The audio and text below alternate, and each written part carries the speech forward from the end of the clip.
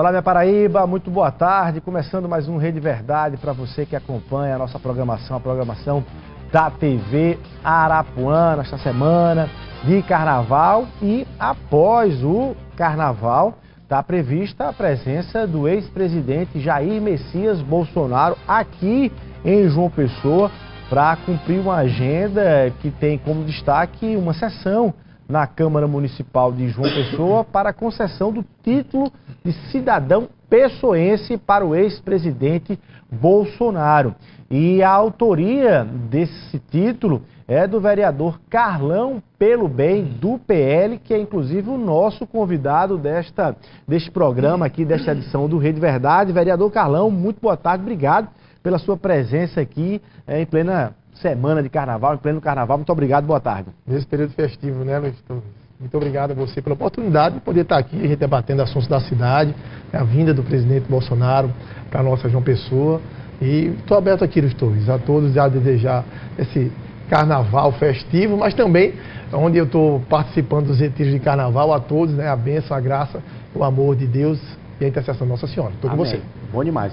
Bom, vamos lá. É, para a gente começar, por que é que Bolsonaro merece é, ser chamado pelos pessoenses de conterrâneo. Por que, que ele merece dizer que é um cidadão da capital paraibana? Luiz, eu preciso te trazer, de responder isso, a data que eu ofertei a cidadania pessoense Bolsonaro, que foi ainda em 2018, final de 2017. Você apresentou a sugestão? Lá atrás, a proposta, né? E as pessoas me perguntavam exatamente isso. Mas por quê? E ele não era presidente da República ainda, né? Foi Mas que, por quê? Foi que ano você mandou? 2018, final de 2017. Certo. É, então o Bolsonaro ainda não tinha a casa dos dois dígitos para presidente da República. E qual foi a razão e o que eu fundamentei nisso? O sentimento da direita conservadora. A voz que esse homem deu a, a, nova maneira de fazer política. O Bolsonaro fez isso em 2018 né, e o que o fez ascender a presidente da República sem grandes partidos, sem fundo partidário, sem os caciques da política, sem estruturas que se precisa e se precisa para se chegar a um chefe do executivo. Então o Bolsonaro conseguiu chegar a ser presidente da República pelo sentimento de um povo. E esse sentimento, Luiz Torres, era de repulsa à maneira que a política estava se comportando, principalmente a política corrupta que a esquerda e o PT fez no seu modo de governar com petrolão e mensalão. Então, o que fundamenta a, a, a a cidadania pessoense de Bolsonaro é a voz que ele deu à direita conservadora e essa voz refletida em votos, que inclusive chegou a quase 50% dos votos da cidade de uma pessoa. Então Bolsonaro trouxe uma nova maneira de governar, ele trouxe, na realidade, ele instaurou o maior processo democrático, porque antes só escutava um lado, ou um lado parecido, que era o lado da esquerda, aquilo tudo muito maquiado, tudo forjado, a política maquiada, que dava ministérios e secretarias aos seus asseclas e aos seus amigos, e aquelas pessoas que queriam gritar e queriam colocar valores na política. Bolsonaro trouxe isso. E em razão disso que eu dei a cidadania pessoense. Que valores são esses? O valor, por exemplo, da proteção à vida. A gente vê Bolsonaro claramente ser um homem contrário ao aborto ser contrário à discriminação das drogas. É um homem que é contrário à troca e às facilidades de ministério para ter apoios políticos. Então, Bolsonaro é a favor, principalmente, do enxugamento da máquina pública, e ele fez isso quando ele valorizou o dinheiro do contribuinte e do pagador de impostos. Por tudo isso, por João Pessoa ter dado quase 50% dos votos a esse homem, pela voz que ele deu à direita conservadora, João Pessoa o faz cidadão pessoense através do meu mandato. Ô, vereador, e, e eu, quando eu fiz a pergunta, sem saber que você tinha concedido antes, né, que você teria, teria apresentado e defendido o projeto que foi, que foi aprovado, é, antes dele ser presidente, que eu ia perguntar se, durante os quatro anos em que ele foi presidente, se o título e o pedido de título se sustenta merecidamente para o ex-presidente em relação a João Pessoa, ele como presidente do ponto de vista de retorno efetivo para a cidade. Estou principalmente por isso. Se eu conseguir fundamentar a cidadania pessoas de Bolsonaro antes dele ser presidente, principalmente depois dele ser presidente. E eu posso te dizer isso, por exemplo, quando ele fez um, a redução de impostos que ele trouxe, não só para João Pessoa, mas para todo o Brasil. Bolsonaro foi o presidente da República, o único chefe do executivo que conseguiu reduzir impostos e aumentar a arrecadação. A gente conseguiu ver isso. Bolsonaro foi um homem que trouxe verdadeiramente a água para o nosso sertão. E João Pessoa é uma cidade cosmopolita, Luiz Torres. Você sabe disso. João Pessoa é uma cidade que, por ser capital, ela absorve todas as cidades do interior. E a gente sabe o valor que, que tem é a água ter chegado no sertão da nossa Paraíba. Bolsonaro foi um homem que se apresentou com uma nova maneira de governar, por exemplo, quando ele reduziu os ministérios tirou quase metade dos ministérios. E fez isso dizendo: olha, a gente pode fazer um bom governo, tirando ou enxugando a máquina pública. E aí a gente traz um outro ponto super importante. Bolsonaro acreditou na Paraíba, nos paraibanos e em João Pessoa, quando levou para o Ministério da Saúde Marcelo Queiroga, esse paraibano, esse homem que chegou com força, esse homem que foi lá depois de ter sobrado, e muitos que foram ministros de saúde não conseguiram sustentar essa pasta poderosa no tempo de pandemia, em que as pessoas morriam aos montes, infelizmente, as famílias sofriam. Foi um paraibano que foi lá, sentou na cadeira como ministro da Saúde, conseguiu controlar, deu vacina para as pessoas e, com isso, fazer um dos melhores projetos de saúde e vacinação do mundo para a nossa nação. Eu vou querer falar sobre o ex-ministro Marcelo Queiroga e essa disputa na Prefeitura de João Pessoa, o PL, com todas as circunstâncias aí que envolve o PL, inclusive com a saída de Nilvan Ferreira, desse, dessa base, dessa disputa aqui. Mas antes, como a gente está falando da, da presença do, do ex-presidente Jair Bolsonaro, é ele também está num momento de olhares né, em relação à operação da Polícia Federal, mais recente, tratando de acusações sobre um esquema, é um suposto esquema montado no Brasil para um golpe de Estado aqui é, no país. Primeiro, lhe perguntar, é, mesmo com esse cenário, com esse clima, o roteiro está mantido aqui para essa semana, para a próxima sexta-feira, a presença de, de Bolsonaro. O roteiro está mantido. Até a, agora. Até agora, nada mudou. O presidente, lógico, que assim como nós sentimos, o presidente também deve estar sentindo tudo que está acontecendo. É muito triste, Luiz a gente ver a maneira que o Estado está sendo usado para perseguir um homem que é opositor ao governo que aí está. Bolsonaro não fez isso enquanto presidente. É muito triste a gente ver o Estado sendo colocado para perseguir opositores desses que aí estão no poder. E, e, e muito. Eu estava vendo a fala do advogado do presidente Bolsonaro, quando ele dizia: olha, a minuta que eles estão dizendo, que era do estado de sítio, que inclusive precisava passar até pelo Congresso Nacional Sim, em caso chamada a minuta sítio, do golpe. Chamada minuta de golpe. E que golpe seria esse se precisaria passar aprovação, pela aprovação do Congresso Nacional? Que golpe existe, e não existe história disso em todo o mundo, de um golpe onde Aquele que seria beneficiado com o golpe que diziam ser Bolsonaro, nem no país estava. Que golpe é esse que aconteceria sem exército nas ruas, sem derramamento de sangue, sem povo nas ruas? Que golpe é esse? Estou narrativas que estão sendo trazidas, como não encontraram nenhum e nunca encontrariam esquemas de corrupção como existia e existe no governo de esquerda do PT, porque os seus ministros, todos eles, Pode fechar aí. Todos esses ministros que aí estão respondem por processos e muitas vezes de improbidade. Então, como não encontraram nada, nenhum indício de corrupção do presidente Bolsonaro, disseram: vamos inventar. É uma grande invenção essa tentativa de colocar nas costas do presidente esse golpe. A gente sente, nós sentimos, mas quem sente principalmente é o Estado Democrático de Direito, onde não existe mais devido processo legal, onde não existe mais o princípio do contraditório nem da ampla defesa e é muito triste a maneira que eu estou vendo o nosso Brasil caminhar. Ô, vereador, e com esse, essa, esse momento, a situação que pode haver discussões é, sobre algo ainda mais aprofundado em relação ao ex-presidente do ponto de vista de prisão, se fala até em prisão e tudo.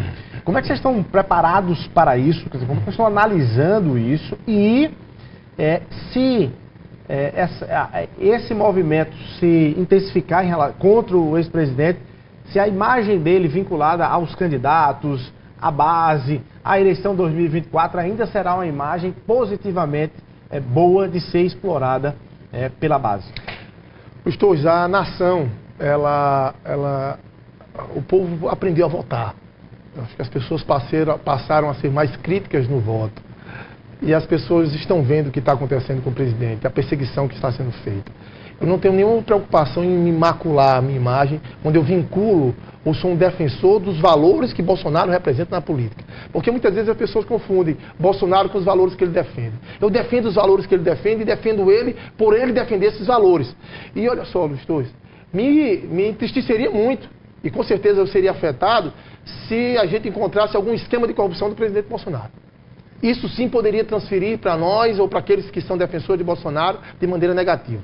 Mas essa Eu acho que ele está acima de qualquer suspeita no, no sentido de corrupção. Não estou dizendo que ele está acima de qualquer suspeita. Não existe nada contra ele a respeito de corrupção. Não existe nada contra esse homem. Diferentemente do que a gente viu nos governos passados de Petrolão e Mensalão, que se comprava o Congresso Nacional. Não existia democracia naquele tempo, Luiz Se comprava deputados e senadores para ali se permanecer no poder e se perpetuar no poder durante anos e anos e anos. E, e aí esse tipo de política não existiu mais. Essa vergonha afundaram fundos de pensão de aposentados, Luiz Torres. Esse tempo foi o tempo do PT e eles estão aí de volta, querendo fazer a mesma coisa com o dinheiro do povo brasileiro. Eu sou um homem que sou comprometido. Se Bolsonaro, nesse momento, fosse visto como um homem corrupto, eu não poderia mais emprestar a minha imagem a ele. Eu não me absolveria das imagens dele. Mas não. Hoje ele é um homem perseguido. Hoje ele é um homem que, por ter feito a melhor política da nação, e ter mostrado à esquerda a maneira de governar, sem corrupção, sem trocar os ministérios, com enxugamento da máquina pública, e eu vou dizer só uma evidência disso para você vir para a próxima pergunta. Eu sei que você já está aí querendo ver. Bolsonaro terminou os quatro anos colocando mais de 50 bilhões de reais dentro dos cofres da, da União. Isso quer dizer o seguinte, superávit. Você na sua casa pagava todas as contas de energia, saúde e educação, ainda sobrava dinheiro para você fazer outros investimentos. Bolsonaro deixou nas contas da União mais de 50 bilhões de reais. Você sabe o rombo que foi apresentado agora? Mais de 200 bilhões. Mais de 230 bilhões de reais. Para onde foi esse dinheiro, Luiz eu quero saber para onde foi esse dinheiro, por que, que a nossa alta corte, por que, que o Ministério Público, por que, que o controle da Auditoria Geral da União, por que esses homens não vão dizer cadê os 230 bilhões de reais de rombo dos cofres da União? A gente quer saber. Eu não vi esse dinheiro. Esse é o debate que vocês vão trazer para a disputa pela Prefeitura de João Pessoa? Esse debate é suficiente na Prefeitura de João Pessoa? Para a Prefeitura de João Pessoa, o que a gente vai trazer é uma melhora dos serviços. É a maneira que Bolsonaro governou dentro da União, nós fazemos aqui. Por exemplo, nos dois. Os recursos aplicados na saúde, será que estão sendo condizentes? Os serviços de saúde, a população está olhando, a gente vai ter precisar debater saúde. A gente vai precisar debater e mostrar para a população que a gente não pode mais contar com baratas em hospitais, que as UPAs não podem estar mais fechadas sem dentista ou sem médico. A gente precisa dar uma melhor prestação de contas e de serviço da população. Então o que a gente vai fazer é, vamos fazer uma melhor educação. A gente está falando de educação virtual. A gente precisa de uma melhor educação para a nossa cidade. A gente precisa de ampliar aqui as vagas de creches e escolas.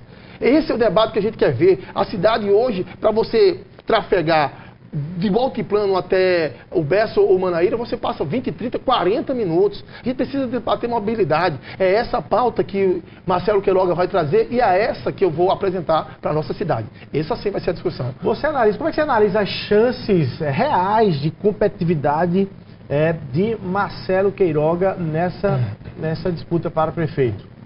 Chances reais. Se baseia é. em que a, a a expectativa que vocês têm que ele possa estar no segundo turno e possa virar prefeito da capital? Primeiro, a, a aproximação com a direita conservadora. Uh, com a saída de Milvan, Marcelo Queiroga é esse homem que representa a direita conservadora, que deu a Jair Bolsonaro no segundo turno, quase 50% dos votos. 49,8%, 49,9%. Perdeu por 925 votos. 925 votos. Então, essas pessoas, elas querem ver uma maneira da direita, uma maneira da direita conservadora governar. Está na hora, a gente precisa apresentar isso. E, e Marcelo Queiroga representa isso. Então, ele traz consigo já todas aquelas pessoas que votaram em Bolsonaro que acreditam nessa nova política, na política da direita conservadora. Mas isso não é o suficiente. O que acredito também é que a maneira como Marcelo Queiroga conseguiu gerir os mais de 400 bilhões de reais que ele passou pela mão dele enquanto ministro da Saúde, ele conseguiu gerir no Ministério da Saúde. Ele foi um gestor eficiente, foi um homem que conseguiu fazer a logística da entrega das vacinas, de aplicação inclusive de leitos de hospitais. Fez isso no Amazonas, quando lá não tinha hospital nenhum, ele fez. E o que a gente vai fazer aqui é isso, é dar respeito a uma saúde melhor, a uma educação melhor. Então o que é que eu conto? Com duas bases. Primeiro, a identidade da direita conservadora do eleitorado pessoense, que chegou a dar quase 50% dos votos para Bolsonaro, e a capacidade de gestão do nosso ministro Marcelo Queiroga, futuro presidente, prefeito de João Pessoa. Vereador, o comunicador Nilvan Ferreira não era mais competitivo, não. Ele tinha sido testado nas urnas, venceu as eleições em João Pessoa, chegou aí ao segundo turno para a prefeitura, venceu para governador em João Pessoa. Não era mais competitivo o Nilvan Ferreira, não? Vocês fritaram o Nilvan Ferreira de forma pouco estratégica eleitoralmente falando? Torres, eu não posso trazer para mim que nem eu, nem Marcelo Queiroga fritamos o Nilvan Ferreira. Ninguém frita um homem que vai a segundo turno das eleições é, para prefeito, nas últimas eleições, e que teve quase 400 mil votos, o governador mais votado em João Pessoa. Não se frita esse homem. Eu falei para você dois pilares que vão fazer com que Queiroga seja extremamente bem votado em João Pessoa. E o pilar dele foi a identificação com a direita conservadora. E quem é que diz que ele se identifica com a direita conservadora? O apoio do presidente Bolsonaro. O que faz Queiroga hoje ser esse homem competitivo é a decisão do, do presidente da República, Jair Messias Bolsonaro, dizer Nesse momento, eu quero para João Pessoa o melhor dessa representatividade, o homem que foi meu ministro, Marcelo Queiroga. Então, esse é um ponto. É. João Ferreira não foi fritado por mim nem por Marcelo. Né? Então a escolha do presidente. Nesse momento ele disse, olha, nós temos agora Queiroga aí, que foi meu ministro, ele pode fazer um grande trabalho para a cidade de João Pessoa. Né? E quando você diz que Nilvan... É mais competitivo. É mais competitivo, eu digo, olha, é verdade, Nilvan é um homem mais competitivo, ele teve, ele foi o, o governador mais votado da, em, João Pessoa. Em João Pessoa mas a gente não pode esquecer também que eh, eu tenho um caminho a trilhar, sabe, eh, Luiz Torres? Em 2016, eu não lembro de nenhum outro, de ninguém, já nos quadros legislativos, defendendo Bolsonaro. Eu estava lá, firme e forte.